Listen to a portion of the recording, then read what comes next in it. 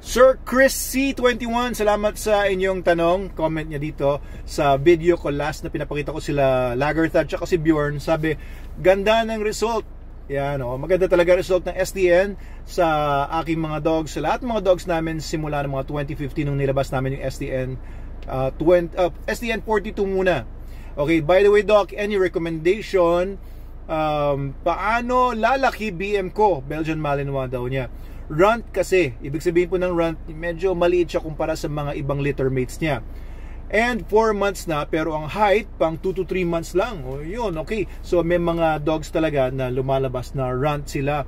And minsan talagang genetic na talaga yon no? Meron lalabas na maliit na puppy na hindi siya kasing laki ng litter mates niya. Yung parents niya malalaki naman. O, sabihin sa sarili niya, ano ko, ampun po ba ako kasi maliit siya compared sa iba, no?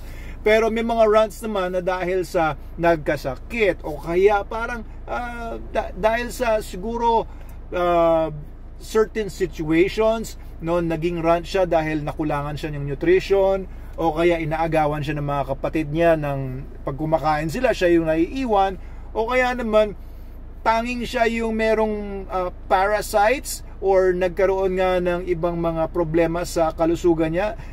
There are many reasons, no? Pwede rin na meron din siya mga alam niyo congenital problems na hindi naman talaga niya yung talaga height yon pero naapektuhan ng ibang congenital problems na maaaring uh, gawa ng may sakit siya na mana niya or what. So, ang runt ay pwede pa ring humabol, makuha niya yung potential niya unang-una, alisin po yung mga reasons kung bakit siya naging runt.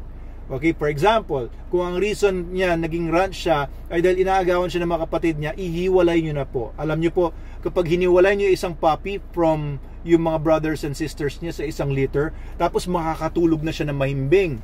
Ayan, makakain na siya ng maayos. Ayan, Okay, tapos yung ilalagay na siya sa lugar na ma-feel niya na loved siya, alam niyo walang stress, hindi mainit yung lugar niya, etc. etc mas malaki ang chances na yung rant na yan ay umabol doon sa mga kapatid niya or malampasan pa nga yung mga kapatid niya kung yung mga kapatid niya nasa hindi pa rin uh, ideal or hindi pa rin optimal na sitwasyon.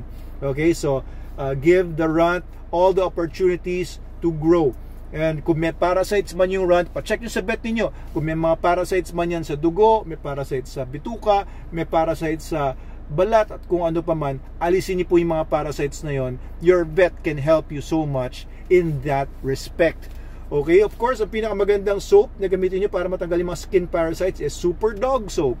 Ang pinakamagandang pagkain na pwede niyo ipakain sa aso niyo para makuha niya talaga yung nutrition na kailangan, kailangan niya to reach yung potential niya for growth is Super Dog Nutrition, SDN42, the best dog food in the multiverse. Hindi niyo na kailangan yung mga ano yun, yung mga pampatangkad, mga growth factors, hindi nyo po kailangan yon kung naka-SDN na po kayo. Hindi nyo na rin kailangan bigyan ng sangkatutak na calcium supplements or sangkatutak ng mga vitamin supplements kasi ang SDN ideal na po yan. Siksik na siksik po siya.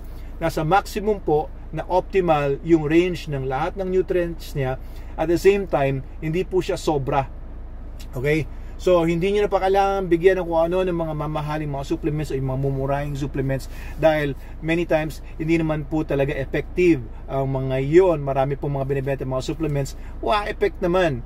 Okay, so magtiwala lang kayo sa SDN, Super Dog Nutrition. Yan na po ang the best. Okay, kahit itapat niyo yan sa mga imported brands, guys.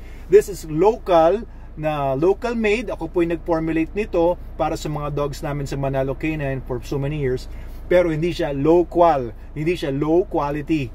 Okay, this is the highest quality among local dog foods and it's the highest quality kahit ilagay nyo pa sa tapatan sa imported dog foods. I'm very confident in that dahil uh, we've been using this nga for so many years na rin and ang ganda talaga ng uh, effect niya. I'm not just saying this to sell more. I really don't care kung bibili man kayo or hindi. Pero I'm telling you if you want to you know do the best for your dog or your puppy, then uh, take my advice please. Okay, so thank you sa inyong tanong Sir Chrissy. I hope na uh, maabutan ng rant ninyo. Balitaan niyo po kami, no? I really love hearing so many mga magagandang testimonials, feedbacks.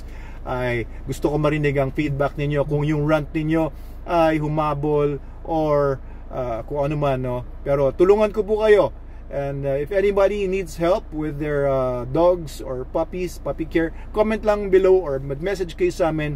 We'll help you para talagang matulungan ninyo or maalagaan nyo na maayos yung mga aso ninyo. And sa BM nyo, Sir Chris, no?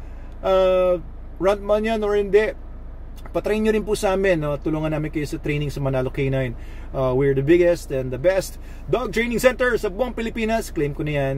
And uh, ano, uh, we can also help you para ma-enjoy nyo lalo yung mga dogs nyo through dog training.